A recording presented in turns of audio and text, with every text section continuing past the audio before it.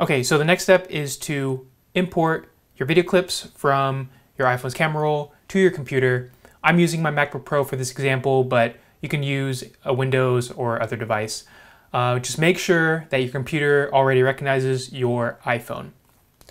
Now, once it already recognizes your iPhone and you've gone through the steps to do so, the first thing you want to do is create a new folder here on your desktop. So I'm going to go to File, New Folder, uh, right here on the top right. I'm going to just rename it MZF Course Clips. Okay, so now that you have your new folder set up to take in all your clips, uh, the next thing you want to do is go to Photos. And right here where it says devices, it says Michael's iPhone, so my computer already recognizes my iPhone. Right here under albums, there's already the album video imports. You can create your own if you want. All you have to do is just go to uh, go to Michael's iPhone or your device. Mine says Michael's iPhone. Go to import to, and under that, uh, you can choose new album, create a new album if you want. Um, but I already have video imports, so I'm gonna keep it as that. So make sure that your iPhone is unlocked while you're doing this and it's on and it's not sleeping so that your computer recognizes the new video clips that you've just recently uploaded to your camera roll from your other apps. So now let's select the clips that we need. Here in video imports, I've already uploaded all the uh, workout clips that I shot with Carl. But let's go ahead and upload the other clips from the office that we filmed. So go to Michael's iPhone and I'm going to scroll down here. So here are all the clips that we just filmed. I'm going to just drag and highlight all the clips that we need. Now, you can also select individuals. The way to do that, you can either press Command and then click on each individually, or if you want to highlight these two, you can press Shift and drag over the two that you want to select. You're going to import the 59 selected. Okay, if you want to import all new items, it's going to import everything that you've taken, videos, photos, whatever, from your iPhone's camera roll. There's also option here that says delete items after import. Don't uh, check that unless you intend to do so. You want to make sure you still have the items just in case. Okay, so let's import them. All right, so it's importing the items. It's going to take a little while you can see there's this circle right here. This is the progress meter. So once it does like a, once it fills up fully, then that's when all the video files are within the video imports album. So you can see some files are starting to trickle in and uh, starting to be imported. Okay, so now all the video clips are imported and are in the video imports album. Um, so the next thing that um, I need to do is take all the clips that I've filmed and move them over to the new folder that I just created on my desktop. So what I'm going to do is I'm going to press shift and then hold down the mouse while I drag it over the clips I want and then let them go. I'm going to press shift again and then just drag and highlight over all the clips I want. Perfect. So from here, I'm just going to select this clip and move all 91 clips over and just drop them in the new folder. Right now, they're currently being transferred over. You can see right here, this shows the progress of that transfer. And for now, just gonna wait until all the clips have been transferred over to the folder on your desktop. So another way to transfer your files is through AirDrop. Now this can only be done between Apple devices. So let's say transferring a file from one iPhone to another or from your iPhone to your computer or vice versa. Um, also, make sure that your Bluetooth is on to enable uh, AirDrop. Right here in the bottom left, uh, the share icon, um, I hit that and then you can see right here, um, it recognizes my MacBook Pro where that circle is, that MZ is. So we have this uh, clip selected. You can also select other clips just by uh, swiping to the side and making sure that they're checkmarked. But we'll just use this clip for this example.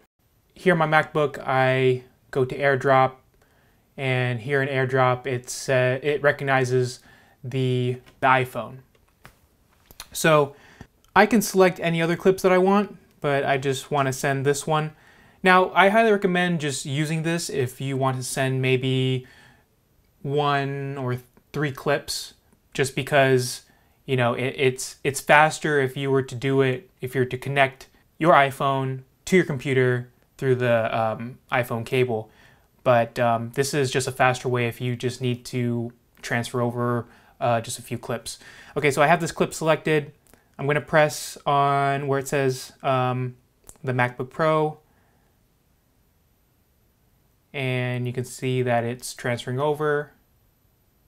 So you'll get a you'll get a notification on your computer or device um, that a file has been transferred. Now here in the computer, um, you can see that it says allow me to be discovered by contacts only. Um, you have other options right here. Everyone, no one, contacts only.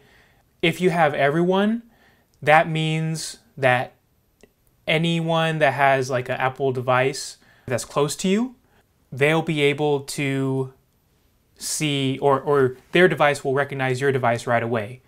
Um, so unless you want that, I, I recommend doing contacts only or just turn off your Bluetooth.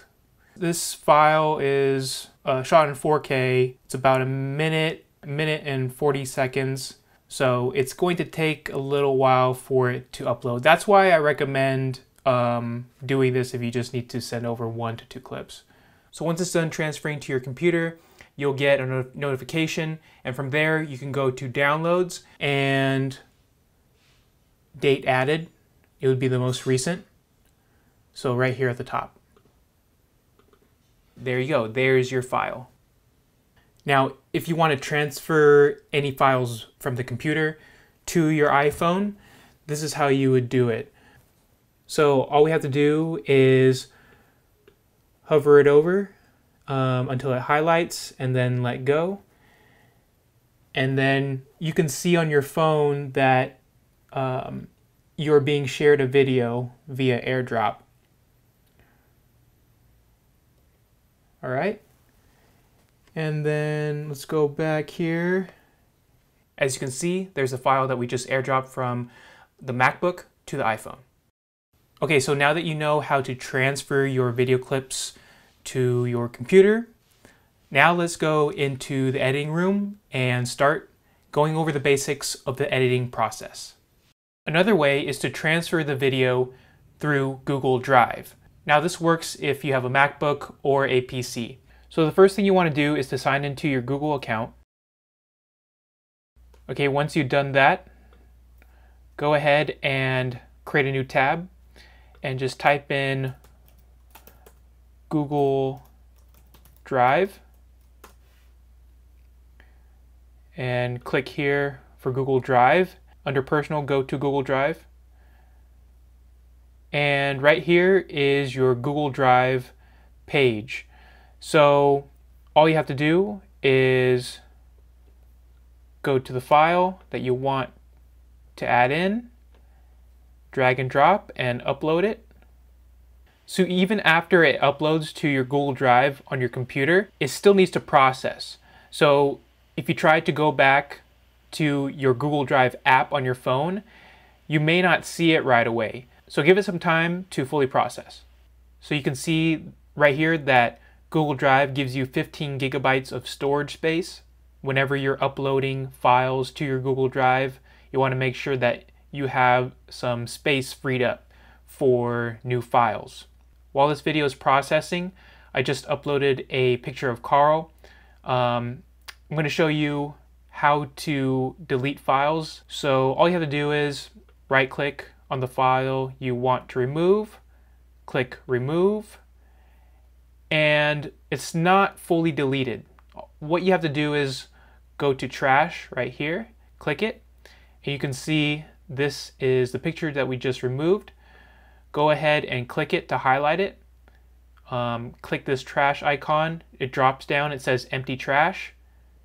Click empty trash. And then click this again to empty trash.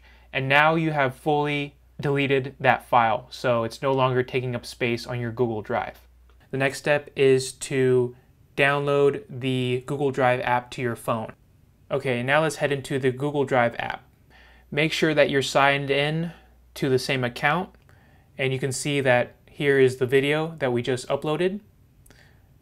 When we tap on the video, Hi, my name is Karlton Dennis and I help everyday taxpayers avoid paying taxes legally. As a tax strategist, I have built my career by following wealthy. All right, tap on the screen again. And you see the three dots on the top right hand corner. Tap on those. And then we'll scroll down and choose send a copy. And there in the bottom left, press save video. Make sure that your Wi-Fi is fast enough for this process all right, and then press OK. All right, so now let's exit out of the app and check our photos. And as you can see, there's the video. Hi, my name is Karlton Dennis and I help everyday taxpayers avoid paying taxes legally. So if you don't have the option of AirDrop, you can use the Google Drive app to send files from your phone to your computer. Here in the bottom right, there's a plus. Tap on that and then tap on the upload icon and then photos and videos. All right, so let's head into the camera roll. All you have to do is just tap on the file that you want and there's a check mark right there. So tap on upload. You can see that it's, it's processing uploads. All right, perfect. As you can see right here on my computer, there's the file. So to download it, to your computer, all you have to do is right click on the file and click on download. Right here, it's downloaded. You can also go to your downloads and your file should be there as well. Let's go to downloads. There it is. Now, if you want to download multiple files to your computer, you can just select that by clicking and dragging across and highlighting all the files you want. And then you're going to right click and click on download. And it's going to prepare a zip file with those files that you just highlighted. Transferring files through Google Drive from your phone to your computer or vice versa comes very handy when you are only sending just a couple files.